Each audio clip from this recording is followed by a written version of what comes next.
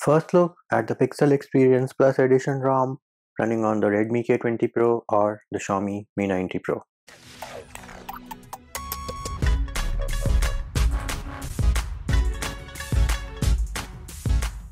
Hey peeps, what's up? Munchy here, back with another video and in this video we're going to have our first look at the Pixel Experience Plus Edition ROM running on the Xiaomi Mi 9T Pro or the Redmi K20 Pro. Right off the bat, you will notice that the current build which we are using has the security patch as March of 5th, 2020 and the kernel which is baked in is Fixie kernel. Now, this kernel, as far as I know, does not support display overclocking. So that is one of the limitations of this build. And of course, you can overcome this by flashing a kernel which does support display overclocking.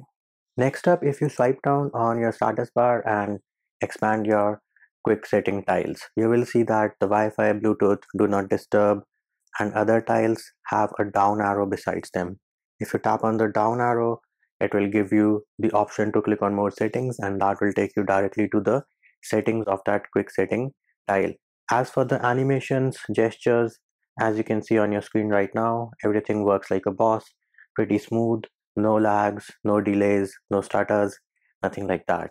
You will also notice that we have a camera icon which looks similar to Gcam but this is not Gcam. This in fact is the Xiaomi camera baked into this ROM. And of course 48 megapixel works like a boss. And you also have the option of pro mode. And while we are on the home screen let me show off another feature. If you long press the power button long press the screenshot option you can take partial screenshots and it does work absolutely fine as you just saw and we can now dive into settings and have a look at the major customizations which are provided by Pixel Experience Plus Edition ROM on the Redmi K20 Pro. So we will dive down into display and then go into dark theme. You will see that you can now customize your dark theme from sunset to sunrise. You do not have the option of setting a specific time, but you do have the option of setting it from sunset to sunrise. Then you will find live display in the plus edition which does include reading mode and color calibration wherein you can calibrate your RGBs and you can also calibrate your hue saturation intensity and contrast. Now if you do not like the calibration or the picture adjustments which you make feel free to click on the reset button to go back to the settings which came out of the box. In styles and wallpapers you do have the option of customizing the icons and using different styles. And you can also create your own custom style if you want to. If you go into wallpapers you do have the option of live wallpapers. And you can also download wallpapers like my friend Pikachu and other live wallpapers whichever ones you like. Then you have the option of rotation settings wherein you can configure rotation for every rotation angle. So you can configure it for 0 degrees 90 degrees 180 or 270 degrees. In colors, you have three different options. You can choose between natural, boosted, and adaptive. Then you have font size. You can choose from 80% to 130%, whatever floats your boat. Next up, you have lock screen display. So you can add users from the lock screen. You have options to display the media cover art, the music visualizer on the lock screen. Then if you want to disable the power menu on the lock screen, you can do that as well. And you also have the toggle to enable or disable the lockdown option. If you want always on display, you have a toggle for that as well. Works absolutely fine. Want to wake up your screen for new notifications, you have a toggle for that. If you go into advanced settings, you can configure your pickup sensors, your proximity sensor, and all these options do work absolutely fine on the Redmi K20 Pro or the Xiaomi Mi 9T Pro. Back into display, you have double tap to wake, double tap to sleep from the status bar, and wake your device when you plug in a charger. Then we have sound. So in sound, you have the option to delink your notification and ringtone volumes, in which case the slider to enable notification volume will be enabled or disabled based on your choice. If you want increasing ring volume, you have a toggle for that as well. And you have the start volume and the ramp up time as well. If you want vibration for calls, a toggle for that. And you have customizations for touch sounds, screenshot sounds, touch vibration, vibrate to indicate call status and of course Mi Sound Enhancer is also baked into this Pixel Experience Plus Edition build. Moving over to security, you can set up your fingerprint on display. It works and it works absolutely fine. The only thing you need to note is that set it up the way you're going to use it most often. So if you're going to use it like this, set it up like this. If you're going to use it like this, then set it up like this. So fingerprint on display works absolutely fine. What is missing is screen off fingerprint on display. That option is not yet baked into this build.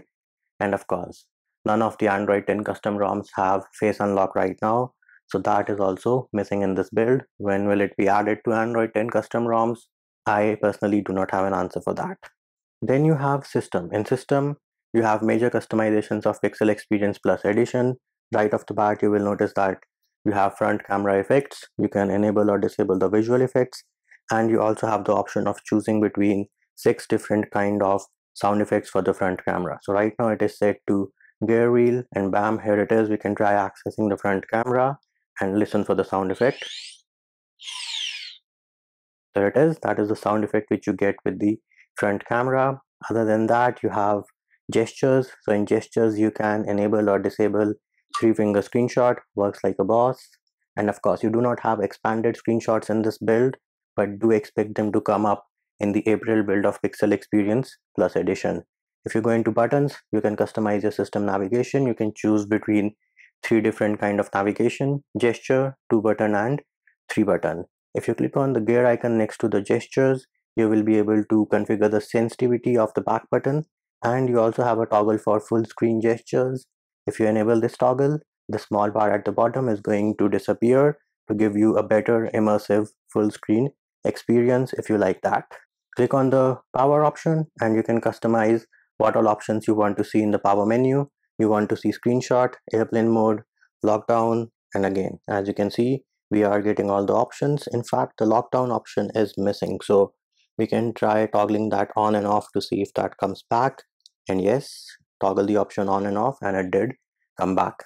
Then you have a toggle to use the power button to end the current call. Or if you want to disable power menu on a protected lock screen, you have a toggle for that as well. If you want to use the power button to activate your torch, you have a toggle for that as well along with a timer as to when you would want the torch to turn off. Then you have customizations for the volume buttons. So if you want to wake your device up using the volume rockers, you have a toggle for that. As you can see, works absolutely fine.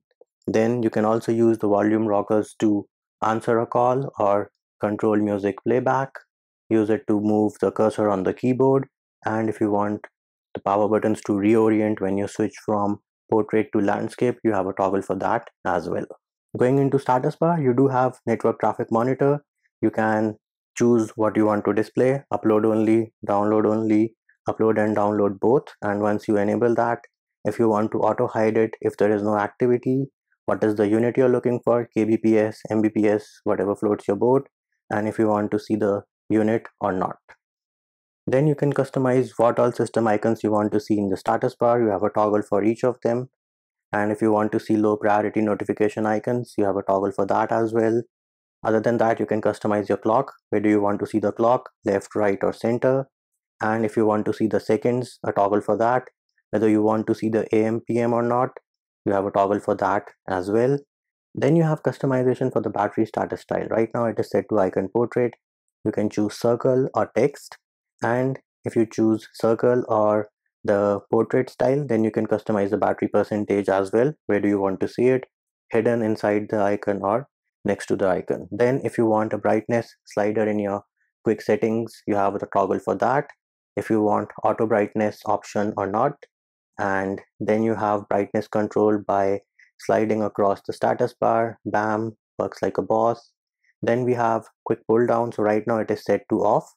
However, if I set it to right, if I pull down from the right, the quick setting tiles will be expanded. From the left, they are not expanded. Next up, you have tile visibility. So if you want to see the tiles underneath the quick setting tiles, so right now you do not see Wi-Fi Bluetooth. If I enable this, expand, bam, you see Wi-Fi Bluetooth, that text. Next up, if you want vibration when you touch the quick setting tiles, you have a toggle for that. You can customize the number of rows and columns you want to see in your quick setting tiles in both the portrait mode and in landscape mode. Then what is the style of animation you're looking for when you press the quick setting tiles. So right now it is set to none and let's say I turn the torch on and off, nothing happened, no animation. Let's try changing the animation to rotate and bam, there it is, rotate in the building, working like a boss. Then what is the duration of the animation you want? Right now it is set to default and this is how default is. Let's try changing it to say fast and bam, pretty fast, not as fast as you would want it to be, but faster than before. And what is the interpolator option you're looking for? So right now it is set to linear. If I set it to bounce and then toggle on and off, there it is. You could see it now has a bounce effect. We can give it one more try. Bam, bounce effect in the building. So those are the customizations which you get with Pixel Experience Plus Edition ROM on your Redmi K20 Pro. As for the benchmark scores, Antutu has been taken down from the Play Store and when I tried loading the APKs manually and execute the test, it would not execute, it got stuck on downloading.